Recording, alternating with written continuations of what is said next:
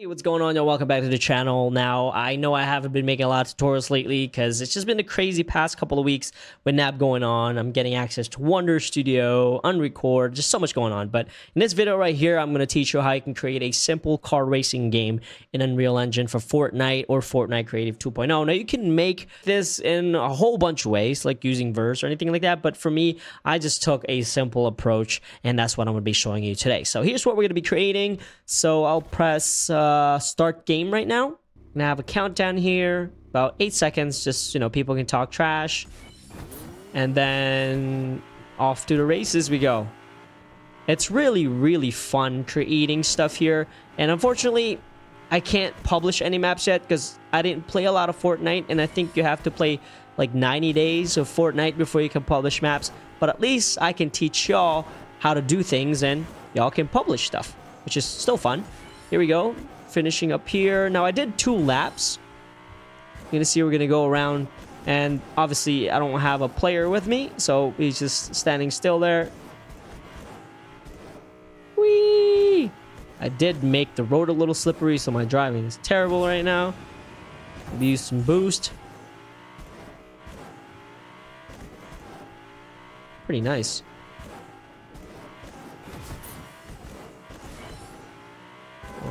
Here we go. And this should exit out right when we finish.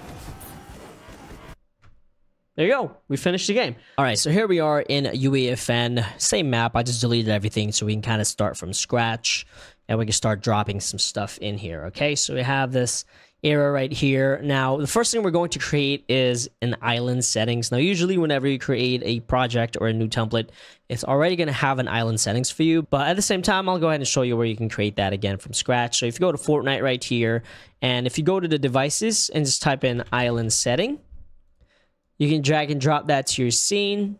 Make this up here press G if you're not seeing that icon. And think about, think of the island settings as your game options, all right? Like rules for your games, pretty much. So it has a lot of options you can kind of mess around with. If you go to the right side in the details panel, you're gonna see there's so much stuff in here that you can tweak. But for the sake of the car race video, it's just gonna be a lot simpler.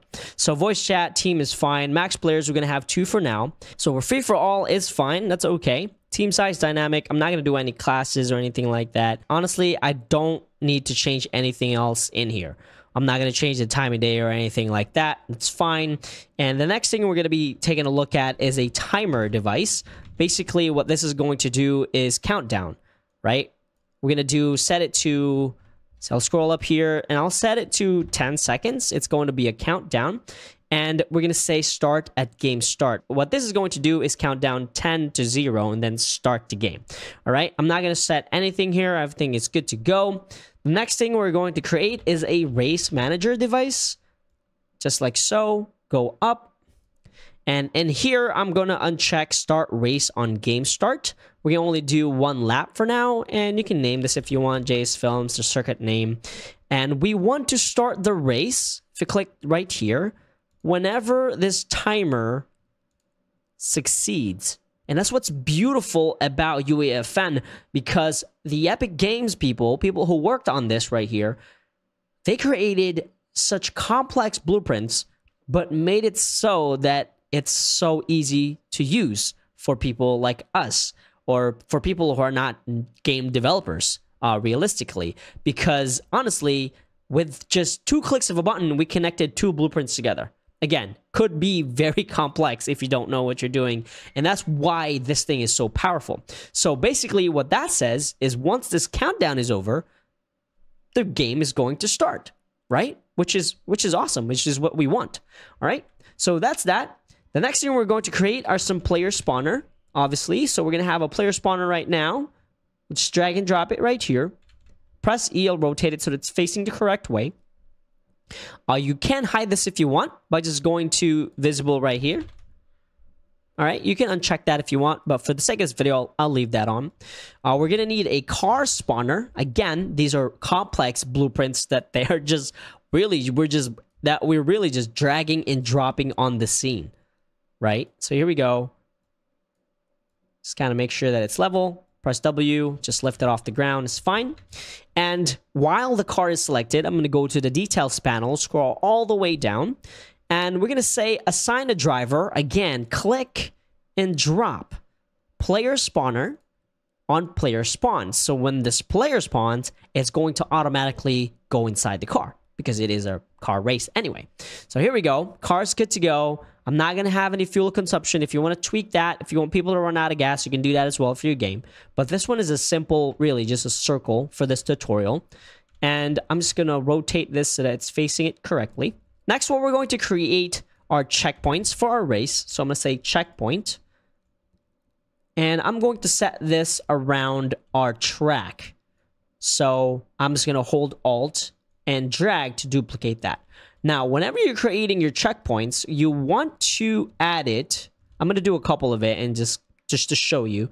You want to add it as close as possible so that people won't cheat. Like if I were to put one right here, people can just go across the water if you don't have any collisions in there and pretty much take a shortcut. So you pretty much want to guide your players on your track so they can't cheat. You know, it's the internet. People are going to cheat. So for that, I'm going to set one right here. Again, you can create more if you want to. Set right here. Additionally, if you want to make it bigger, you can. We can scale this all up later in a second. I'll rotate it here. And again, you don't have to do this in UEFN. You can do this in Fortnite Creative as well. But since I am so much more used to the Unreal Engine editor, I can easily do this in here versus the Fortnite Creative portion to me, it's a little bit faster. I, I work a little bit faster in here. All right, so we have this right here, and I'm going to set one more, and we'll call it a day. So I'm now going to go to the search and search for all the checkpoints because I want to scale these to like maybe 1.2 so that they're a little bit bigger. Additionally, I'm going to set their checkpoint numbers. So we have the first one right here. I'm going to set this one to 2. Set this one to three, four, five, six, seven, eight, nine, and then 10. What I'll do is actually, I will actually duplicate the 10th one because I want the race to finish close to where they started. Okay. So I'm just going to overlap these two just like so. It's totally fine. And now I'm going to set this checkpoint to 11. And that's going to change that to the finish line. So I'll save it for now. And again, there is a bug in here, I believe. So what I'll do is I'll select all my checkpoints. And for the visible prior to race start, I'm going to say yes. If I don't select that to yes, I am not going to be able to see the checkpoint nor go through them. Okay, I believe that's a bug. So I'll just pretty much do what I did and you should be good to go. So we have the race start. And what we'll do next is create an end game device. drag and drop it again. And what we'll do is we'll go to the right side, scroll all the way down, and we want to activate this end game device whenever the player crosses the 11th checkpoint, which is this one right here. So again, I'll, I'll just move it back so I can see it better. So activate the end game device when the player when the player crosses checkpoint 11. Next, what we're going to create are barriers so that the player can't move front and back. We're going to have them stuck in a place. So we'll search for barrier device.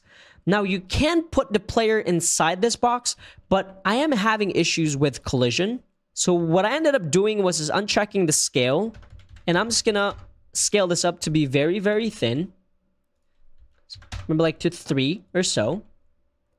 And I'm going to put that as close to the car as possible. And we're just kind of make this, we're just setting this up to be perfect.